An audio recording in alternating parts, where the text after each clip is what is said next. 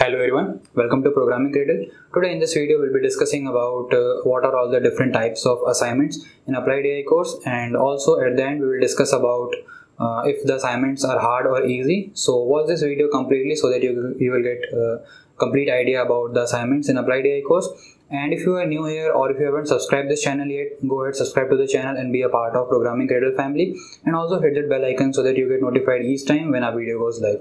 And also hit that uh, uh, like button so that uh, uh i get motivated uh, from that and uh, make such videos for you guys. So with that being said let's move on to the discussion. But before i go ahead i would like to tell you one thing. I have i'm running uh, giveaway. So you can participate in that giveaway. You will find the uh, link to the announcement video in the description. So you can check out that also. So now let's move on to the discussion. So uh, the first type of assignments are uh, programming assignments.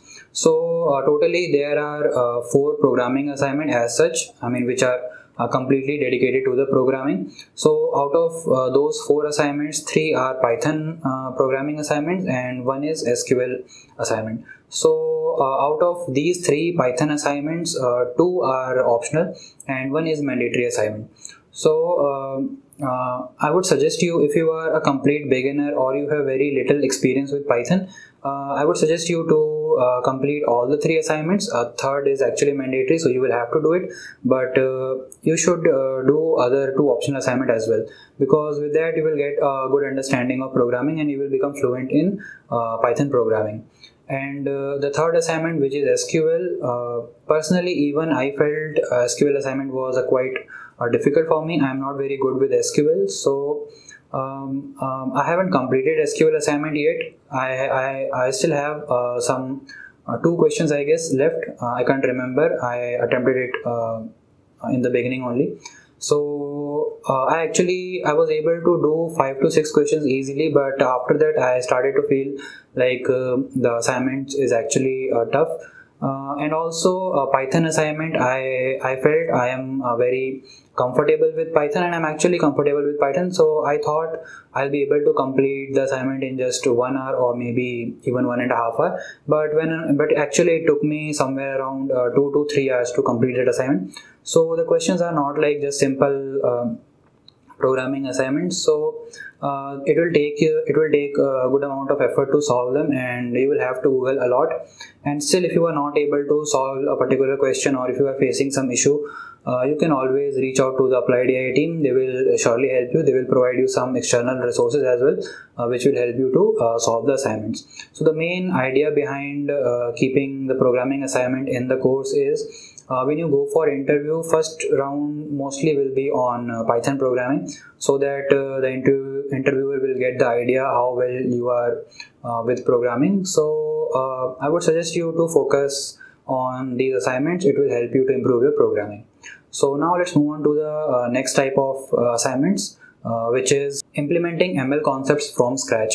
So uh, there are uh, libraries which will help you to implement several or maybe almost every concept in machine learning uh, using those packages. But uh, in the in this in this course uh, they have included assignments in which you will have to uh, develop few concepts uh, from the scratch. So you will have to write the whole code for that. For, if i give you one example you will have to implement a random search cv uh, Uh, on your own from scratch. Uh, i know uh, there is a package available uh, in sklearn you can find uh, random search cv grid search cv so you can use that but they have given assignment where you will have to implement a random search cv from scratch. So the main idea or the main motive behind these kind of assignments is uh, you will get a better understanding of a particular concept uh, if you just use a package uh, you will just learn how to use a package and maybe you just uh, know how uh, that particular function works but uh, you won't uh, get to know minute details of that particular algorithm or that particular concept. So they have included these kind of assignments to help you to get a very vast understanding of a particular um, concept. So uh, focus on these assignments uh, so that you can get better understanding of a, a, particular concept or a particular algorithm or yeah so you got you got the idea right? So uh, in my opinion these assignments are very helpful and i am actually enjoying uh, solving these assignments. Uh, these assignments are uh, helping me to understand concepts really well so now let's move on to the uh, next type of assignments uh, which is solving real world problems using libraries. This you will be doing most of the time in the industry but also if uh, you will have uh, like say you have some algorithm and uh, it is not working well with your use case. So there are chances you will have to uh, tweak that particular algorithm uh, based on your use case. So that's where uh, type 2 assignments will come into picture. And if the particular algorithm which is provided in the library is working very well for your use case then uh, there isn't any uh, requirement for uh, changing the algorithm. So you will be most of the time using uh, libraries to solve your uh, real world use cases in the production as well. So uh, in the course videos they have covered almost all the uh, functions which are provided in a particular library. So uh, they have covered uh, how to use that library and uh, also what are the parameters which we have to pass in that uh, function and uh, how to optimize that function and how to choose the right value for that parameter and uh, which are the parameter uh, a particular parameter uh, by changing a particular parameter uh, what are the variations we get in the in that uh, function. So they have covered all these things and when you will use it on your real world use case uh, you will get to know how exactly it is working and you will get a hands-on experience after using all these things. They have covered good amount of mathematics and theoretical concepts in the course. So when you solve these kind of assignments you will get a uh, practical knowledge you will get the implementation knowledge. So these assignments will give you a overall uh, picture uh, how to use the particular function and uh, it will help you to uh, use it in a uh, real world use cases so now with that being said let's move on to the next type of the assignments which is self case study and blog so in this course you have two self case studies and you will have to write blog for those self case studies so self case study is like end to end project which you will have to do on your own. Of course, you can take help from applied AI team if you get stuck somewhere. So in this, uh, you will have to perform all the stages which are involved in data science lifecycle. Uh, let's say uh, right from the collection of the data to the deployment of the model so uh, let's say you have you have selected your problem statement and uh, now you have to perform uh, data collection. So you have to collect your data on your own and uh, then you will have to clean the data and uh, then uh, after pre-processing you will do EDA on your data. And after EDA you will uh, do feature selection or feature engineering. Then you will do uh, modeling. Uh, maybe you will uh, implement different models. And whichever is the best model you will select that model. And if you want to optimize that model even further you will optimize it. And at the end you will have to deploy your model. So all these steps you have to do on your own. And if you are not able to select your problem statement on your own applied ai team will help you uh, to select the problem statement based on your uh, past experience or based on your past uh, uh, specialization uh, in education. Let's say you are from mechanical background or you are from civil background. So based on your past education or past experience they will help you to select the case studies. So this will give you a very good understanding of a whole data science life cycle.